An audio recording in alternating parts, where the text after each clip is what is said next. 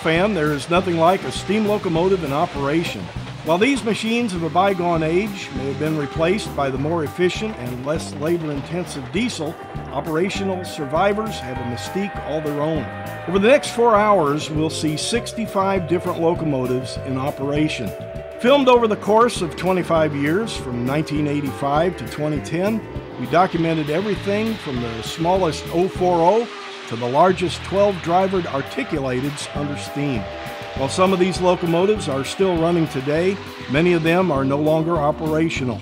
Some may steam again, while most have run their last miles.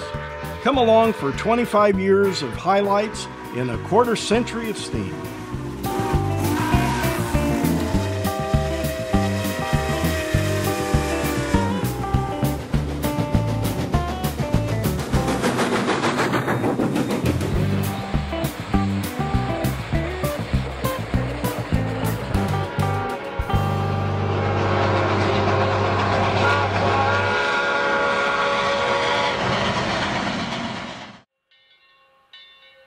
We begin with the last steam powered common carrier in the U.S. as Crab Orchard and Egyptian 280 number 17 heads west from Marion to Ordill, Illinois.